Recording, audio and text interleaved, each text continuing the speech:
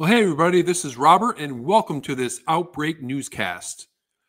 And on today's show, I wanted to take a look at some news concerning the gastrointestinal virus, norovirus. And let's start in South Korea. Health officials in Namwon City, located in southwestern South Korea, have reported more than 1,000 cases of the gastrointestinal illness linked to kimchi. The tainted kimchi was distributed through school meals, leading to numerous students and staff from 24 different schools reporting symptoms of vomiting, diarrhea, and abdominal pain. Now, kimchi is a traditional Korean side dish consisting of salted or fermented vegetables, most often cabbage or radish.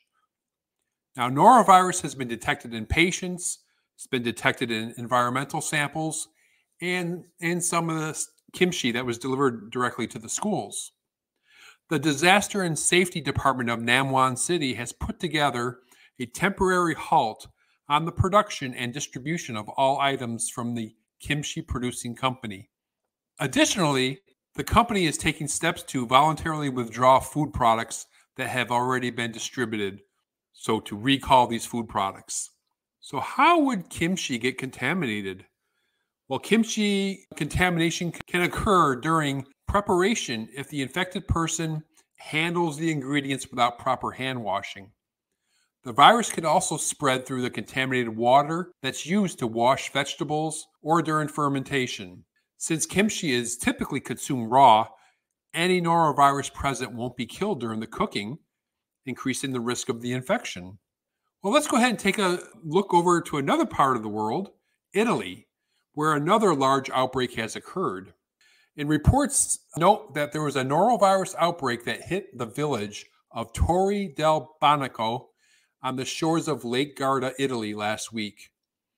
More than 300 people have sought medical treatment for the highly contagious stomach bug.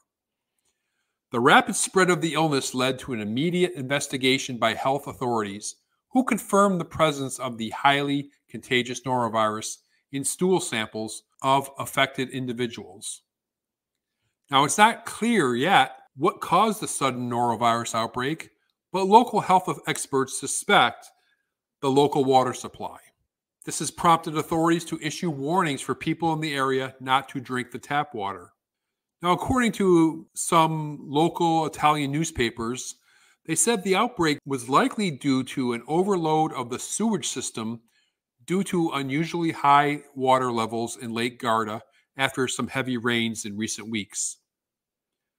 Local authorities are investigating the potential causes and have added chlorine to the water network to disinfect the local water supply.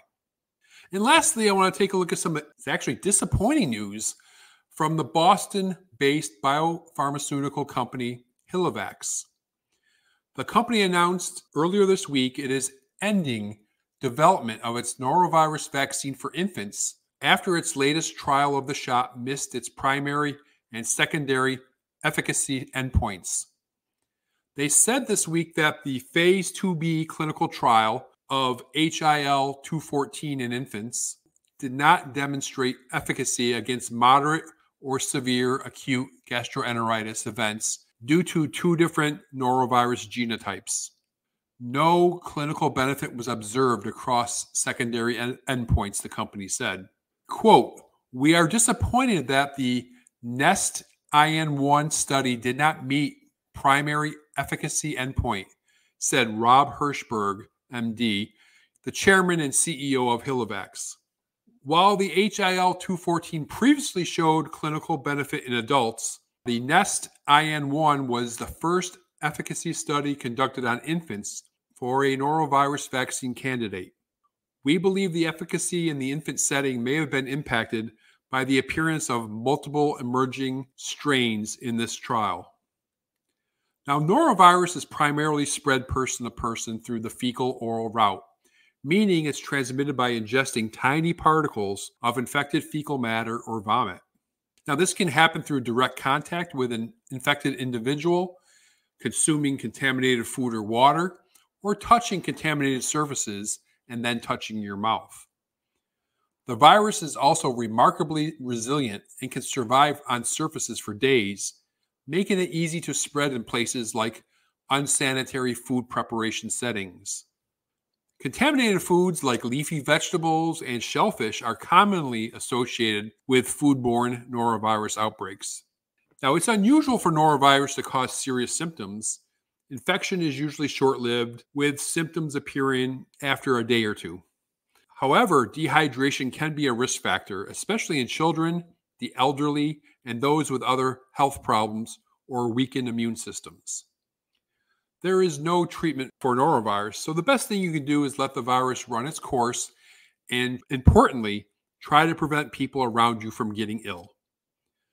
Symptoms like severe dehydration, persistent vomiting, and diarrhea or symptoms lasting more than a few days may require medical attention. Now, exposure to as little as 20 norovirus particles can cause an infection, meaning even the slightest trace of contaminated matter can cause illness and spread quickly. Uh, you can prevent this by strict hygienic practices. And this, this is a list of some things that can be done. These are some key measures. One, of course, is hand hygiene. Wash hands thoroughly with soap and water, especially after using the toilet and before eating or preparing food. Now, alcohol based hand sanitizers are less effective against norovirus. Food safety ensure food is properly cooked and avoid consuming raw or undercooked shellfish, which can be a source of the virus. Clean and disinfect surfaces regularly, especially in communal areas. Use bleach based cleaners as norovirus is resistant to many other disinfectants. In isolation, if you or a family member are infected, avoid contact with others as much as possible until 48 hours after symptoms subside. Now, globally, norovirus is estimated to result in approximately 700 million cases of acute gastroenteritis and 200,000 deaths per year. The burden of norovirus falls disproportionately on young children and older adults. Thanks for listening.